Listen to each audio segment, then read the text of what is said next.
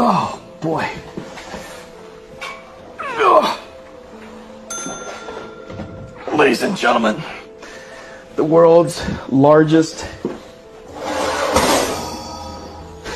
the world's largest graphics card. This is the A100 processor board. It is 50 pounds, 8 GPUs connected by NVLink, 600 gigabytes per second, 6 NV switches, 1 million drill holes, 1 kilometer of traces connecting all of this, over 30,000 components, 50 pounds. In DGX, it moves 700 cubic feet per minute, the most transistors on one computer the world has ever made.